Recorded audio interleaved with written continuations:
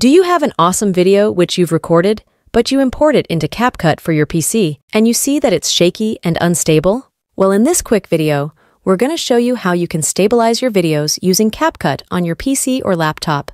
So let's start right away. We will import the video into CapCut, and then let's add it to our timeline. As you can see, this video is great, but it's a little bit shaky and unstable, and that doesn't look professional. Let's fix it! All we have to do is to click on the video on the timeline to select it, and then you'll have a bunch of options at the right side of the screen. Make sure that the video section is selected and then basic. You'll see this stabilize option, so just click on that option and make sure it's checked or selected.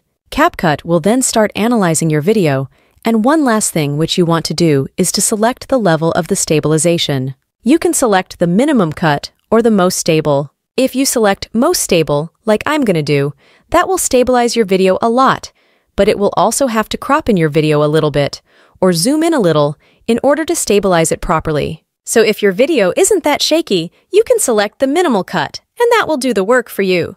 But if your video shakes a lot, then select the most stable and then wait until CapCut stabilizes your video. When the stabilization is applied, you can easily play the video and see that we had successfully stabilized it. So just select either the most stable or minimal cut option and wait a minute or two. If you need more similar CapCut tutorial videos like this one, then make sure you check out the CapCut playlist from the description down below, and I'll see you in the next video.